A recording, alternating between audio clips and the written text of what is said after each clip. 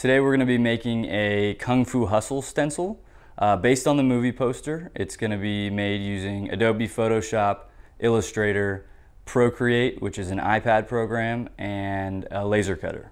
So The first thing we need to do is go ahead and actually find an image that we want to work with.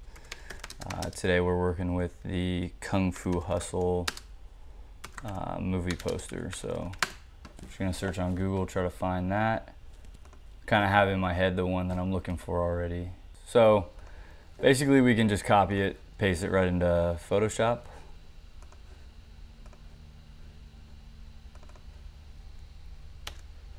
And I like to make my clipboard, or sorry, my canvas of Photoshop a little bit bigger than what the image was. So it kind of defaults to having uh, a new canvas be the size of the image that you have on your clipboard. Um, especially because we don't want something so re low resolution as what this image is. We're, we're going to make it a little bit better. So I'm going to duplicate the layer just to make sure that we have kind of the original one still preserved. Um, and basically to convert this to black and white, the most common one that I use for stencils is image adjustment threshold and it really converts everything to, to pure black and white. You can use this slider to kind of drag how much um, fill you essentially want to have.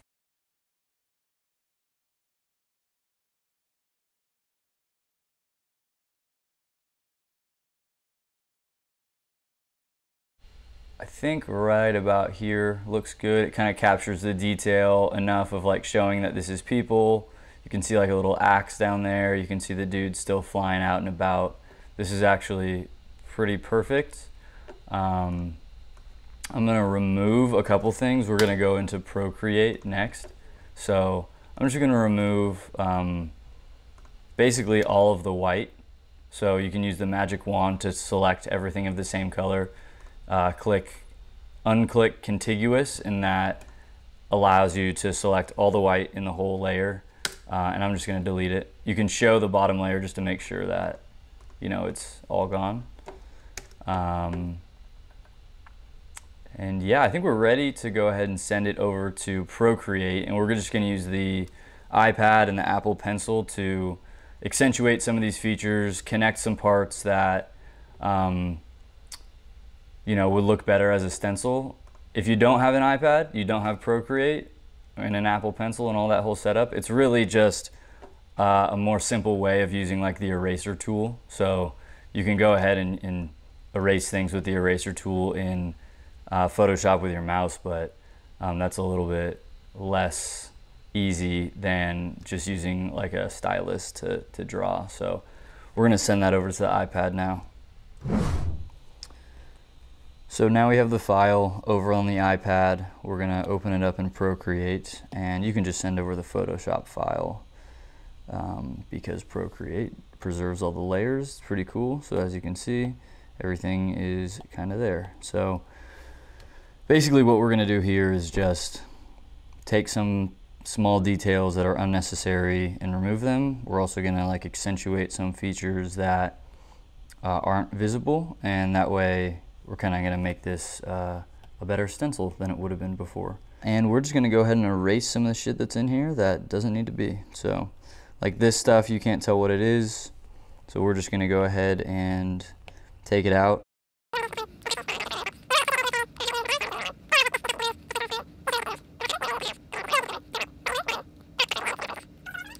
So we're done erasing. We got all like the little useless details out of there. Um, the next thing we want to kind of do is accentuate basically some of the parts that aren't shown. So like you can't really tell that right here that this is a fist. You can't really tell what's going on there, but those are obviously like parts of his arms. And those are kind of what I'm seeing here that the main thing, I mean, this, this guy in the middle is kind of our main um, feature of this, so we want to make sure that everything's shown. So what I'm going to do is show this bottom layer while I stay on this um, black and white layer, hit my brush tool, and I'm just going to start kind of tracing around some of the parts that um, we want to keep in here. So like this arm is a good example of something that we, we actually, we want to see that it's kind of crossing over his body here and that this ends up as like a fist on this other side. Um, same with uh, this this other arm that's kind of hanging down. You know, just be light with the with the tool. You know, maybe follow some shadows around, and you can always flip the layer off and on just to see like what it ends up looking like. So turn that bottom one down. You can already kind of see that adding just those little swoops in there provides like the context. I think this one might need a little bit more, this top arm. Um, so.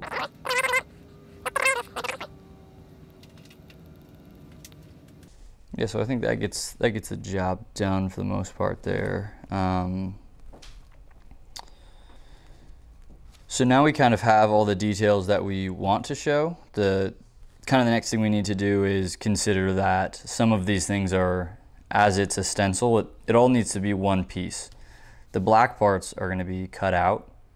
So if any black part is surrounding any white part, which the white part is going to be our plastic stencil material, a cutout area can't fully surround a white part or else it's going to fall out.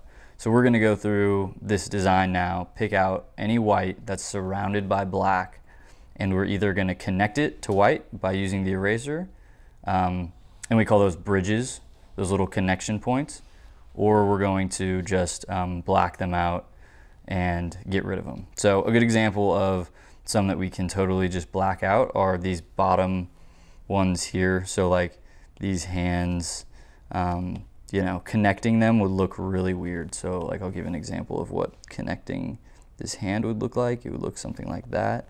And that doesn't make a whole lot of sense in the context of this scene and it's just unnecessary. So we're not gonna deal with that. We're just gonna get rid of it. And I'm just gonna go through here and, and do that with um, a couple different things.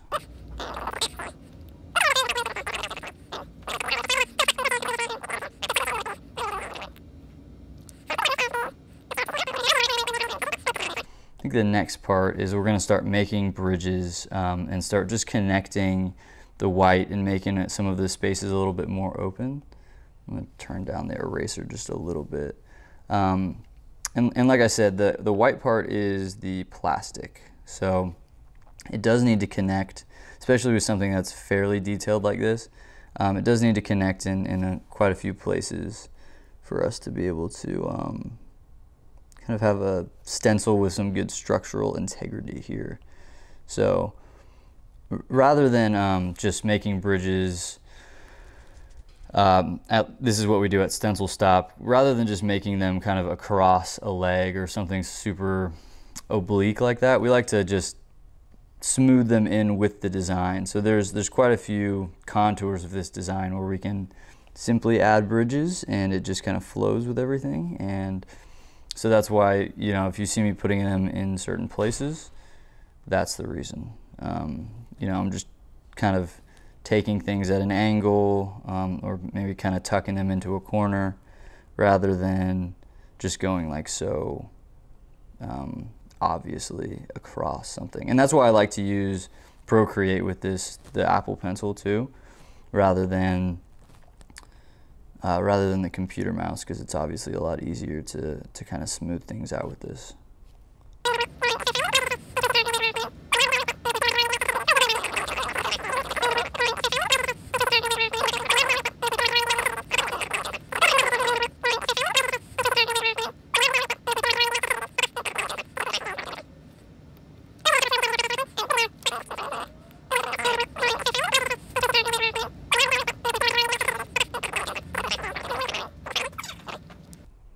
We'll use this little spot right here kind of um, as an example later on of a way that we can test out if the bridges are um, working or not.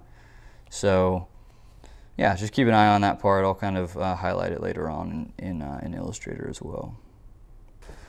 So just like one final check because I think what, uh, what I'm seeing looks like a finished product here uh, for the most part. So we are just going to show kind of the the bottom layer and yeah, that looks more or less like the theme is kind of getting across.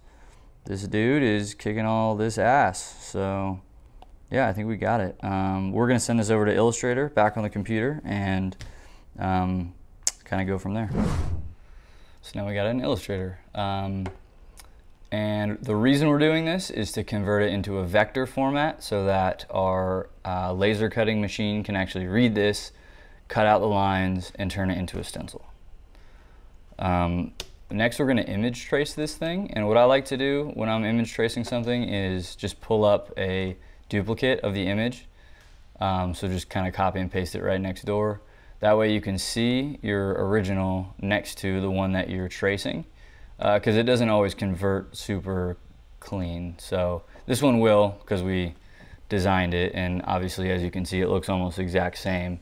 Um, this one's just a little like the lines are a little tighter. Obviously that's exactly what uh, image trace does. This is pixels um, and this is now a series of points and lines, contours if you will. So um, you can go ahead and, and expand it, ungroup it, and delete all the white again because all we need is the black parts and those are what's going to be cut out. So in Illustrator, uh, sorry, on Procreate, I went ahead and used the eraser tool to make all these bridges.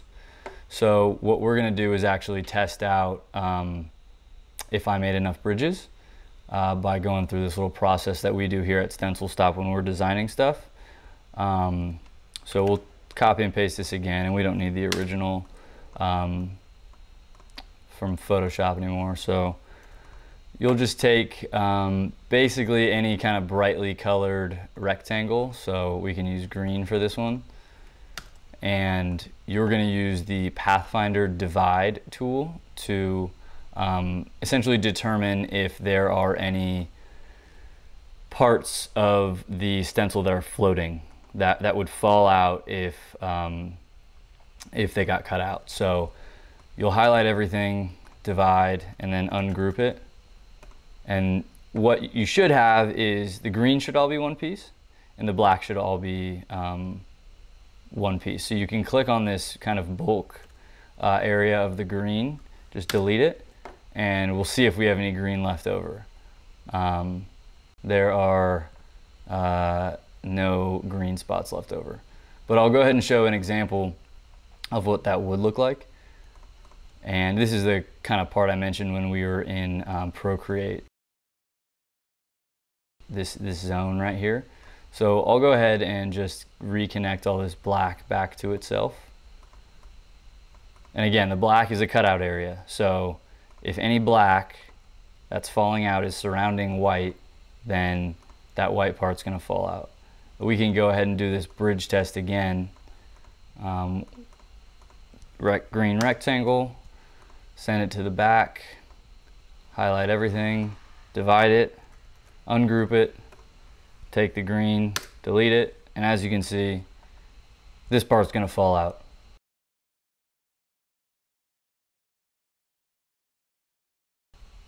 So what that tells me here is that I need to add bridges, right? Which something I already did, but you can just use the eraser tool in Illustrator, boom, connect everything back. Um, and again, the detail down here doesn't need to be super distinct.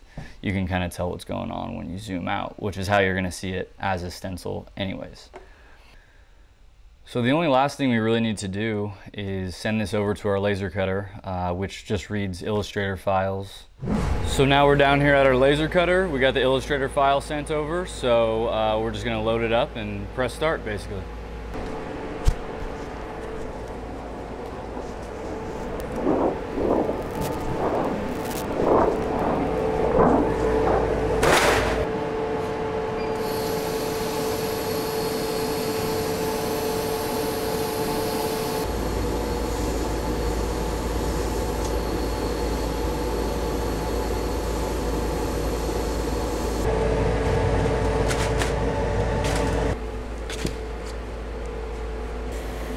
And here's our stencil. So as you can see right here, um, where we did the bridge test, nothing fell out. It's all, it's all perfectly connected. Um, so there you have it.